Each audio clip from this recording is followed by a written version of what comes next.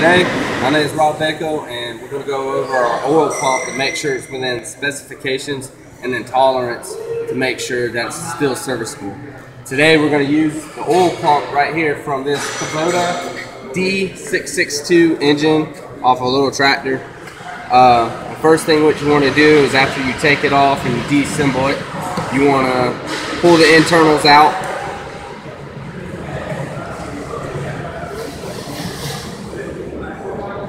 And first you're gonna check for scarring or any kind of abrasions on it. Make sure there isn't no damage to it. After you look over the first part, pull the other one over, look it around, da da da da. Make sure there ain't no damage to it. Clean it off. Because when you put it back together, you're gonna wanna re-oil it, make sure it's nice and clean so it goes back together nice and smoothly. After you clean it off, you're gonna get some simple little clean uh, engine oil. Spurt it on there. Make sure it's nice and lubed up. Set that down for a second. Squirt some on here. Get it to where it's nice and lubed up, clean. Put it back in there.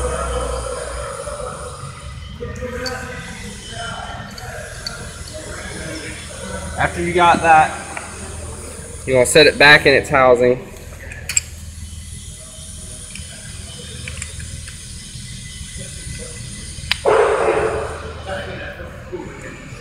Set it down.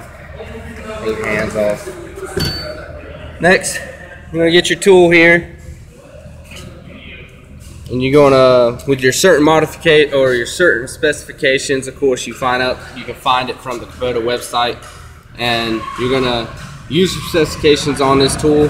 As of right now, I don't know the specifications for this one, but I will show you how to use your flinging tool on your oil pump to make sure it's within. So once you know your specifications, you're going to pull the flange out that has the proper number on it.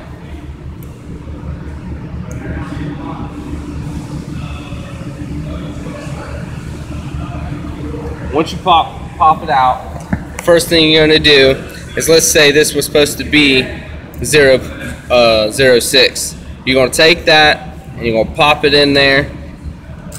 And as you can see, it's not gonna fit at all, which means I most likely need a smaller flange. At this time, I don't have that, but you get the point. So after you do that, you get the one that's supposed to fit in there. You pull it out. You'll go the next size up.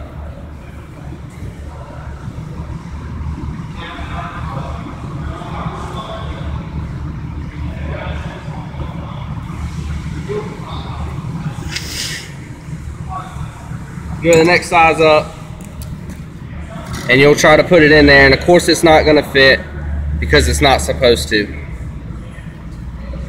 So basically it's that simple. After you lube it all up, you get your measurements and everything, then you just reassemble it and you put it back on the engine block and you reassemble everything. And that's basically how you check your specifications on your oil pump. Thank you.